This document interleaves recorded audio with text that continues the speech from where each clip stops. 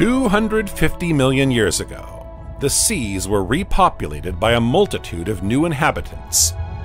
Among them, mollusks flourish fully, including belemnites and ammonites.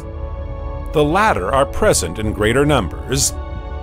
Ammonites flourish and proliferate in waters that are 250 million years old.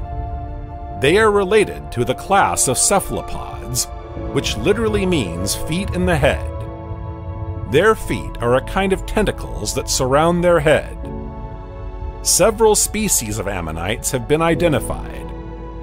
They live rolled up in a spiral shell that is divided into chambers. Most of them are filled with gas or water to guarantee the buoyancy of the animal. To go down to the seabed, ammonites fill their lodges with water, and to go up to the surface, they fill them with gas.